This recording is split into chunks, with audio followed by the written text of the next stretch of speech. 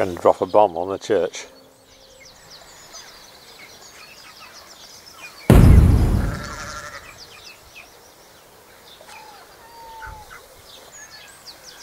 The um, ten past seven in the morning.